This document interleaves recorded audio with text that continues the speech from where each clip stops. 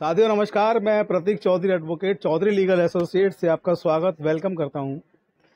आज का वीडियो बहुत महत्वपूर्ण होने वाला है उन आरटीआई एक्टिविस्टों के लिए, उन आरटीआई कार्यकर्ताओं के लिए, जिनको कि आरटीआई का आवेदन देने के बाद से जान से मारने की और तरह तरह की धमकियाँ मिलती हैं। तो ऐसे में ये बड़ा सवाल है कि वो क्या करें?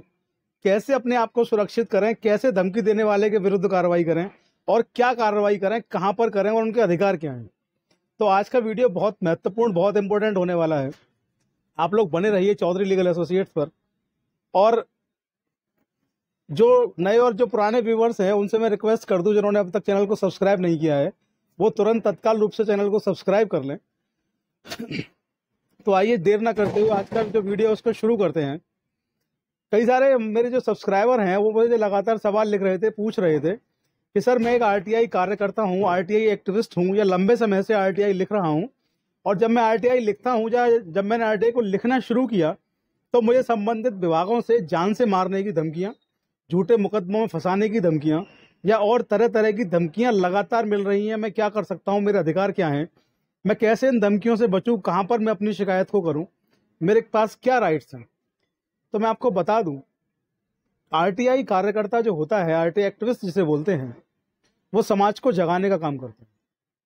और समाज को जगाने वाले लोगों के लिए भारत सरकार ने कई वर्षों पूर्व एक कानून बनाया जिसका नाम है विशिल बिलोअर एक्ट यानी कि जो लोग, वे लोग जो भारत में लोगों को जगाने का काम करते हैं, लोगों के अधिकारों की लड़ाई को लड़ते हैं, वे सारे लोग विसिल बिलोअर कहलाएँगे और उनके, उनको कोई धमकी देगा या उनके प्राणों पर कभी कोई संकट आएगा तो वे लोग विसिल बिलोअर एक्ट के तहत कार्रवाई कर पाएँगे।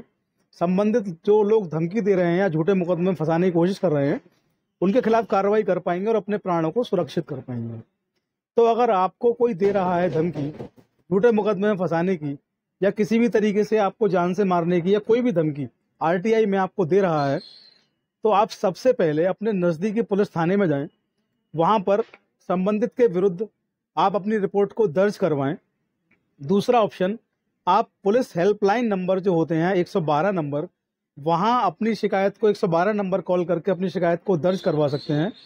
आप मुख्यमंत्री या प्रधानमंत्री पोर्टल पर अपनी शिकायत को दर्ज करवाएँ, कि संबंधित व्यक्ति जान से मारने की धमकी दे रहा है। आप चाहें तो न्यायालय भी जा सकते हैं। आप इस विषय पर सीधे राज्य सूचना आयोग को या केंद्रीय सूचना आयोग को या माननीय सुप्रीम कोर्ट के जो सीजीआई हैं वे सीजीआई सुप्रीम कोर्ट के सीजीआई जो होते हैं, वो फंडामेंटल राइट्स जो आपके हैं, उनके संरक्षक हैं। आपका आरटीआई जो एक्ट है, वो सेक्शन 21 से निकलता है। राइट टू लाइफ और सॉरी आर्टिकल 21 से निकलता है। यानी कि राइट टू लाइफ और लिबर्टी जो है इंडियन कॉन्स्टिट्यूशन का, उससे आरटीआई गवर्न होता है। वहाँ से आरटीआई की शुरुआत हुई है। तो आप देश के सर्वोच्च न्यायालय के जो मुख्य जो सबसे, जो मुख्य न्यायाधीश हैं सीजीआई उनको राज्य सूचना आयोग के जो आपके जो सबसे बड़े कमिश्नर हैं उनको, या केंद्रीय सूचना आयोग के सबसे बड़े जो आपके कमिश्नर हैं उनको, इन तीन जगहों पर आप इस विषय में लिख करके शिकायत दे सकते हैं और अपनी सुरक्षा की मांग कर सकते हैं और जो आपको धमका रहा है, उस पर कार्रवाई की मांग कर सकते हैं। आप पुलिस में अगर रिपोर्ट लिखाते हैं तो आपको डराने, धमकाने की रिपोर्ट लिखानी है और आपको ये भी उसमें दर्ज करवाना है कि विशिल ब्लोअर एक्ट के तहत मुझे सुरक्षा प्रदान करें और मुझे धमकी देने वालों के विरुद्ध आवश्यक कार्रवाई करें। यकीन जानिए, उस दिन, जिस दिन आप ये कर देंगे, उस दिन के बाद संबंधित कोई भी व्यक्ति जो आज तक आपको धमका रहा था, आपको दोबारा से धमकाने की हिम्मत नहीं करेगा, आपके ऊपर कोई हमला कराने की हिम्मत नहीं करेगा और आप स्वतंत्र रूप से निर्भीक होकर के समाज में रह पाएँगे, जी पाएँगे और संबंधित व्यक्ति के विरुद्ध कार्रवाई होगी और वो अपनी जेल जाएगा, जमानत कराएगा। तो ये आपका अधिकार है, अपने अधिकारों को जानिए, अपने अधिकारों को पहचानिए। आपके अधिकारों की लड़ाई लड़ना ही मेरा मुख्य मकसद है। मैं हर उस आदमी की लड़ाई लड़ने को तैयार हूँ और लड़ भी रहा हूँ, जो समाज का पिछड़ा और गरीब और वंचित तबका है, उनकी लड़ाई लड़ने को मैं 24 घंटे तैयार हूँ, मैं और मेरी पूरी टीम इसमें लगे हुए हैं। तो जो बिल्कुल वास्तविक रूप से पिछड़े हैं, वंचित समाज से आते हैं, जिनके पास धन की व्यवस्था नहीं, ऐसे लोगों की लड़ाई लड़ने के लिए आप हमें कभी भी हमें मैसेज करिए, हम तैयार हैं।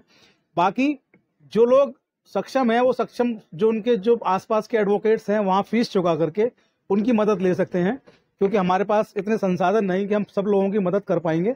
आप लोगों के प्यार और सहयोग के कारण आज हम तकरीबन तीस हज़ार का आंकड़ा पार कर चुके हैं अपने सब्सक्राइबर का। इसके लिए आप सबको बधाई देता हूँ। अपना प्यार ऐसे ही बनाए रखें, बने रहें चौधरी लीगल एसोसिएट्स पर। और आज के वीडियो में आपको कोई सुझाव या कोई कमेंट कोई सवाल आपको पूछना हो, आप कमेंट बॉक्स में या व्हाट्सएप पर हमें लिख करके पूछ सकते हैं। जय हिंद, जय भारत, नमस्कार।